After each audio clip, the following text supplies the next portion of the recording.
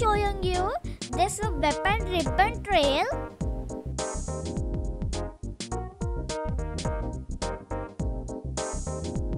First open content browser.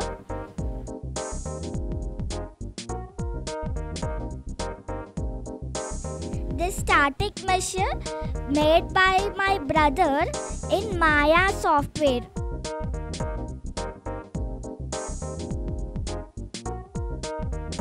Open content browser, in here I downloaded this water texture and in Photoshop I converted this into a black and white picture.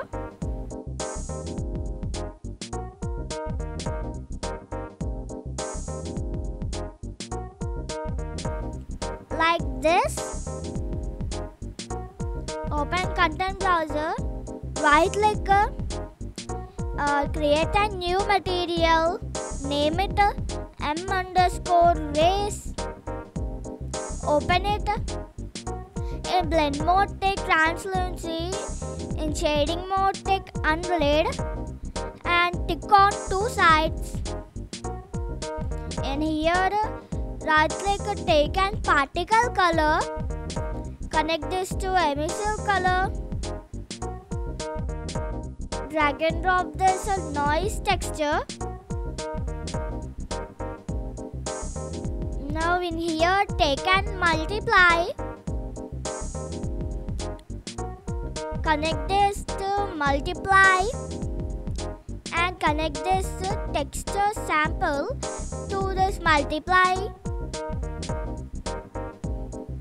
In here right click, take and panner. Connect this to UVs in here take an and multiply. Connect this to panner. Now in here right click uh, texture coordinate. Connect this to multiply. From multiply b take append vector in here right click take dynamic parameter. In here name it x and y. Uh, connect this y to here and uh, x to here. Move this here. Here take an uh, texture coordinator. Mask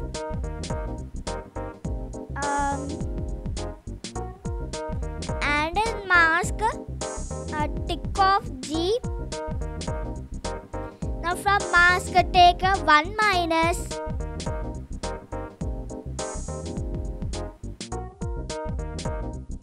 Uh, move this here. Now from 1 minus take power. And from power take a multiply. Now connect this to multiply B.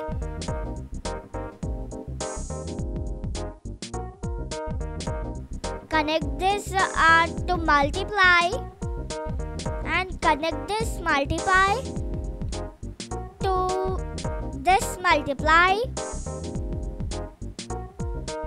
Now again copy this to paste here. Now in mask, uh, tick on G and tick off this R. And from mask, take a sine. And from sine, take multiply. Now connect this sine to B. And connect this multiply to here and connect this multiply to here.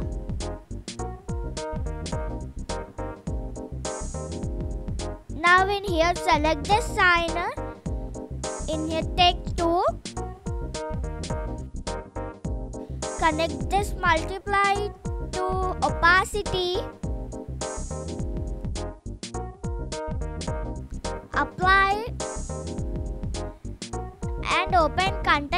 In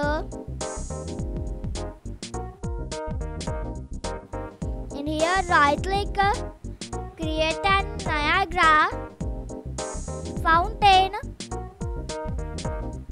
Uh, name it NS Race and open it. In here delete sprite render. In render add ribbon render.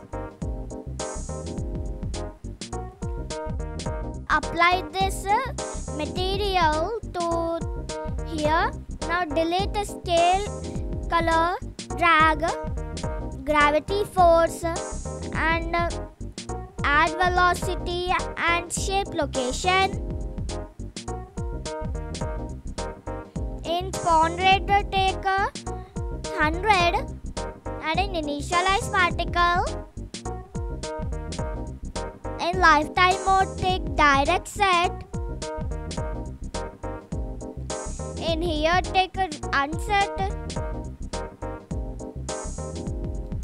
and in uh, ribbon width take a direct set. Now ribbon width is uh, 100. In particle spawn add add velocity. Now in here in velocity take a minus 500.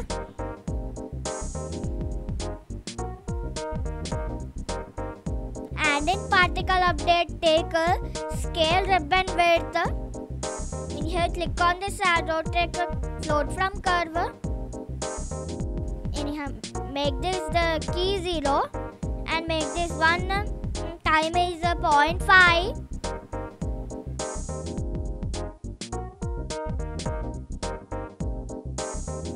auto uh, adjust it now again in particle updater add dynamic material parameter.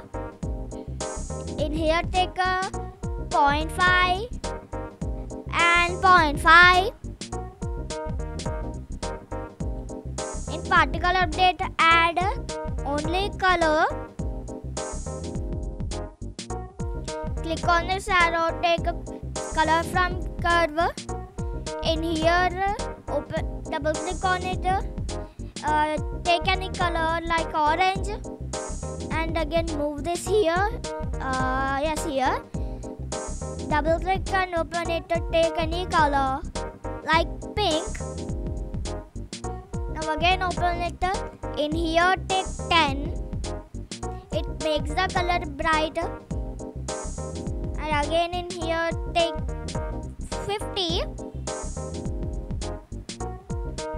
okay. Uh, something is wrong. Go to add velocity.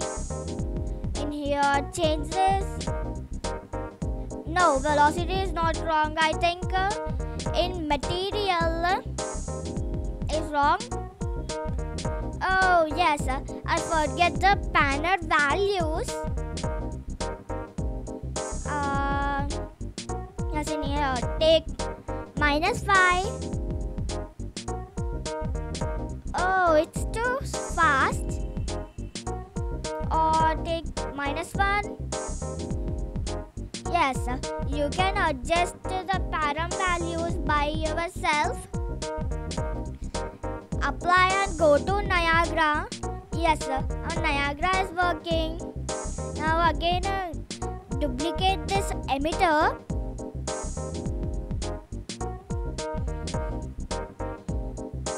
uh, in dynamic material parameter.